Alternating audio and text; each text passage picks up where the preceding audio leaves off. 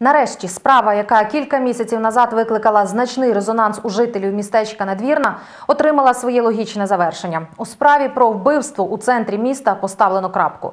Подробиці скоєння злочину та останнє слово Феміди у цій справі знає Володимир Голіней.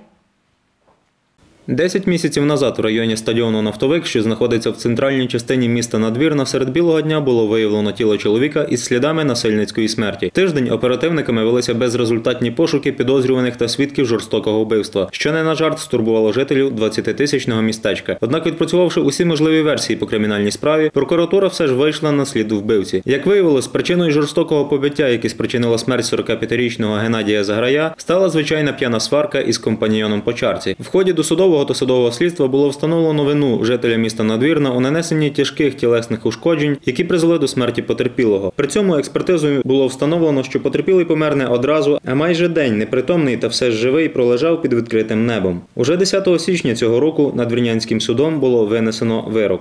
Засуджений Смирнов. Суд роз'яснює вам суть вироку про те, що вас визнано винним за статтею 115 частиною 1 Кримінального кодексу України.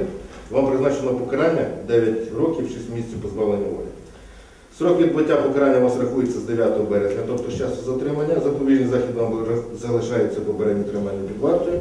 Цивільний позов потерпілий заграй задоволений по всьому повному обсязі, стягується з вас 14 тисяч 34 гривні майнової шкоди, 50 тисяч гривень моральної шкоди, 4 тисячі гривень судових витрат з наданням, пов'язаних з наданням юридичної допомоги адвокатам. Крім того, з вас стягаються всі судові експерти- витрати, зокрема по експертизи НДКЦ Івано-Франківського всіх кіль- кільканадцять, майже 20 штук, загальна сума їх становить 16 тисяч 63 гривні 24 копійки.